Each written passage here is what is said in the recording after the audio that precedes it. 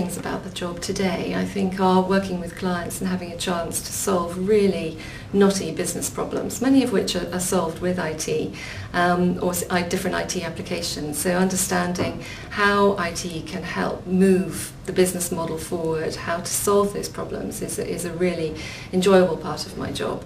Um, the other part I really enjoy is the um, the writing and publication side because we do a lot of research into new ways to solve business problems and uh, that's a, a particularly um, rewarding experience for me.